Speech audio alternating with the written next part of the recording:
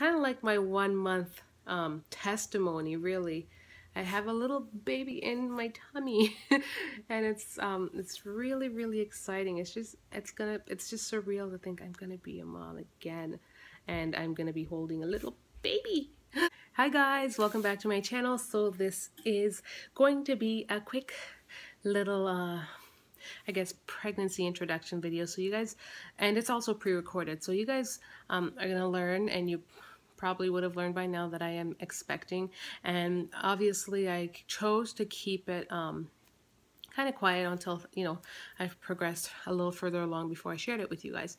So with that said, I'm here to share, uh, I guess, basically my pregnancy experience, how I discovered I was expecting. Um, and um, if this video doesn't get too long, I'll also share maybe the symptoms that I've experienced in the first month. Yeah, I think it probably should all get summarized in this video. So I'm just going to get right into that. Um, so anyways, uh, basically you guys saw that I went on a trip with um, hubby and that was good time. It was a good time because that time allowed me to relax and just allowed for things to occur and, um, in terms of the egg to kind of cook on the inside, not literally. but um, yeah, so when I was on vacation, I was uh, I was probably I was uh, what three days post all the way up until like eight days post we were gone for five days?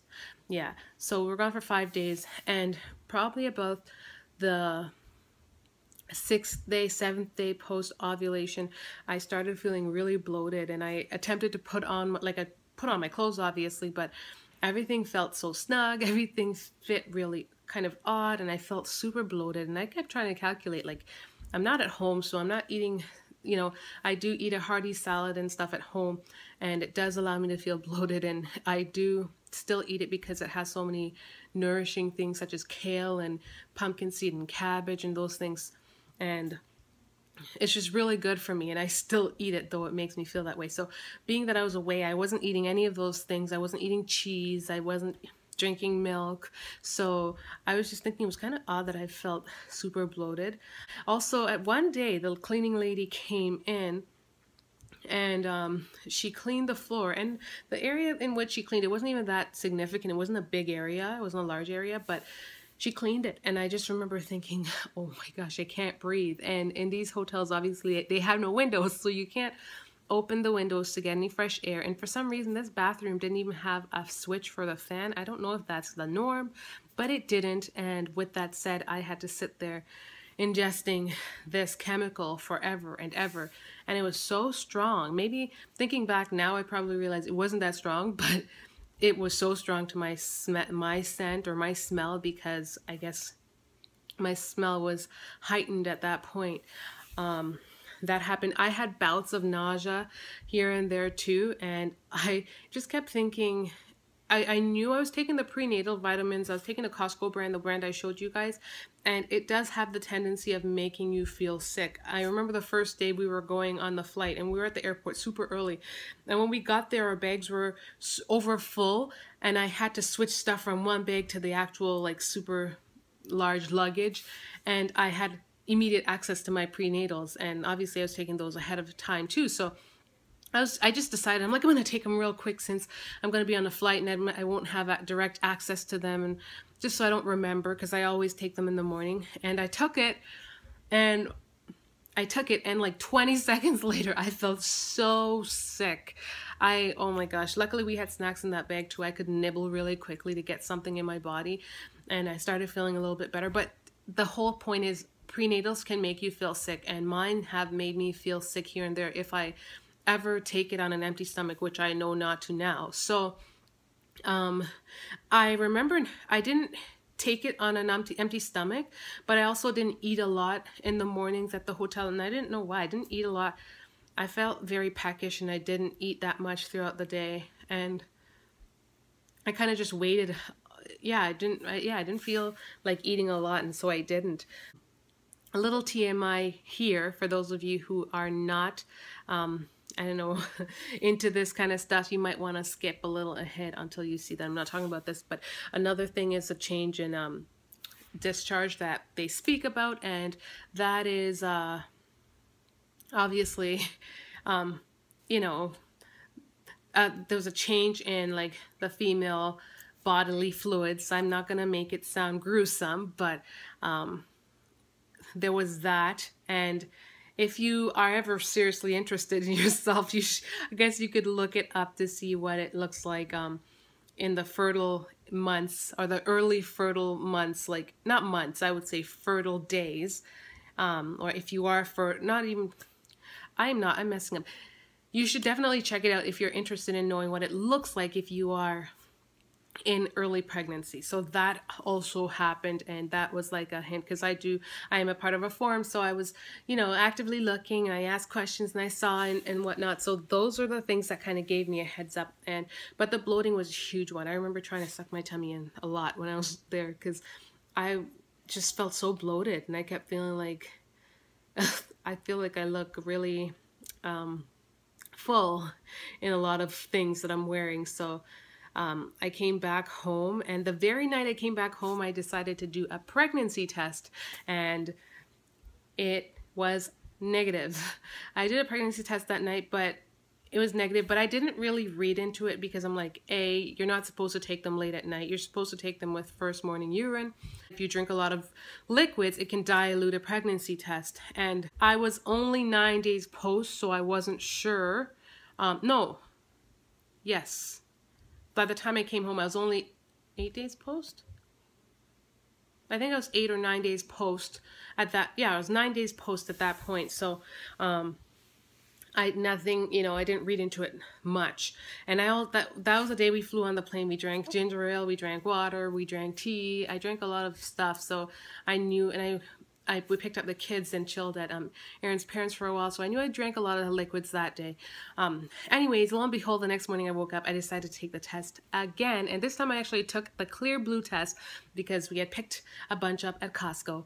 Um, in fact, when we got off the plane on the way home, I had stopped and picked up a bunch at Walmart, but I didn't end up using it because I end I found that I had one of my Clearblue left. So I did take that in the morning and it was positive. It showed up in like 20 seconds. By the time the the um control line was on its way across, well actually no, on this one the control line is in a little box like that and then it's got the other part. But by the time that one line is going across, it met that line that would create the plus and it went across and the plus was starting to form before it even fully went across. So I was, I was like, oh my gosh. And I'm, I was super excited. I didn't tell Aaron though because we are getting ready to go to church. And I was just kind of in shock. So we went to church. I had this news. I didn't see anything.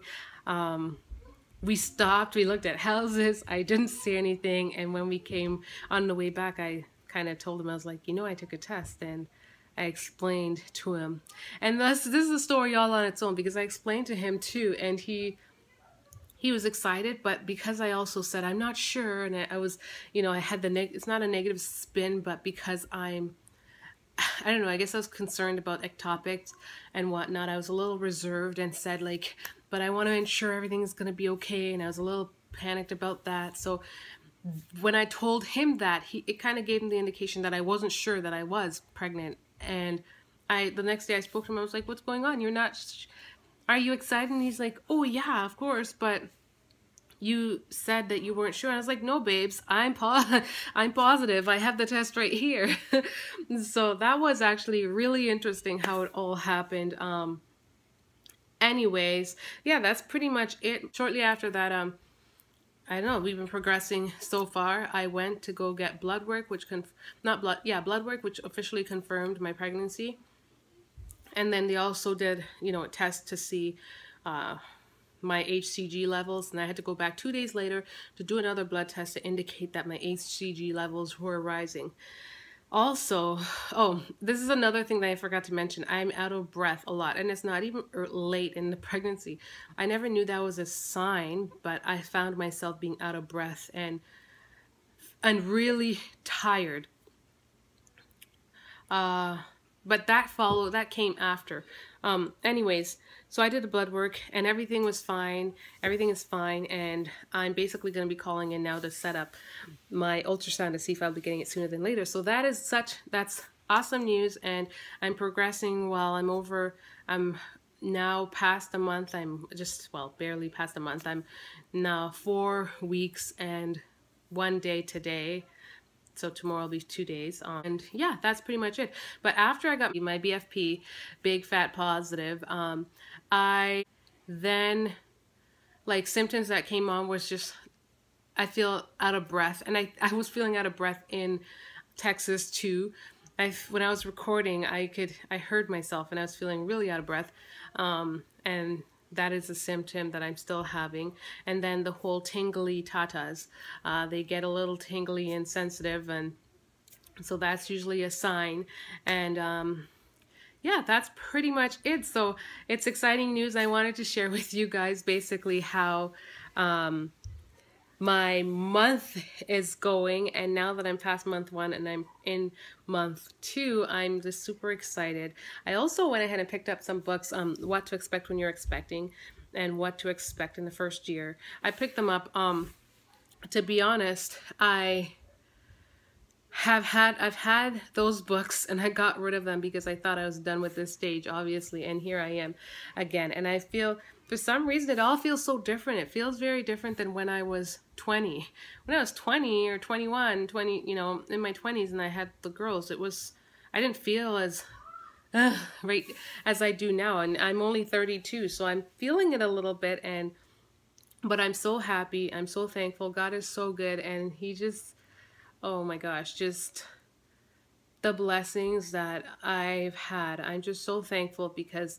there were times when I doubted, but I still remain steadfast in holding on to my hope and holding on to the hope that He gives. Uh, I just, it's just hard. It's so hard to fathom that I'm at this point again. Like, to just think I had tied my tubes and had gone down that road of, you know, gone down that road where I, there are times when I thought, oh, it'd be cool to have another one, but I can't because my tubes are tied. And I was content at those moments. But when I seriously gave it thought and you know, we were at that point where we were considering other options and it didn't necessarily fall, my heart wasn't all in it the way I thought it would be. Um, and my heart just kept coming back to this point. It's just, it's just hard to fathom like how it all happened, how it all fell into place and to think I had a, my surgery to repair my tubes and then to think I only have one tube. Uh, it's, it's just, it's so surreal. I, you know, those things it, they gave, they had me doubting at times. I'm like, I only have one tube. Like, how is that? You know, I'm unsure. How do I know it's gonna even happen? And I also had the just that thought like I made such a rash decision. I tied my tubes and I almost feel like, you know, now it's just a price that I'm gonna have to pay. And even though I repaired my tubes, it's me doing all these things and and who's to say it's to work out? But god is good. He tells you if you know ask and you shall receive and to just remain steadfast. And i have even in my moments of doubt those moments of doubt didn't ever take me so far away that it took away my hope and i'm feeling eternally blessed i feel so very blessed and I just want to tell you guys if you are in my shoe in any way, shape, or form, whether you want to have a child, whether you've been trying, whatever it is, just don't give up hope. Trust, even though I know it's hard because I have been there. And, you know, just remain steadfast because even now I'm expecting and you know the worries don't always disappear you always have to there's always something else to kind of question and it's oh, it's just a journey in itself. But I'm just so I'm so thankful, and with God, there's so much hope and so much love and so much so many blessings to come. So just don't give up. And um, yeah, that's my. It's kind of like my one month um, testimony, really.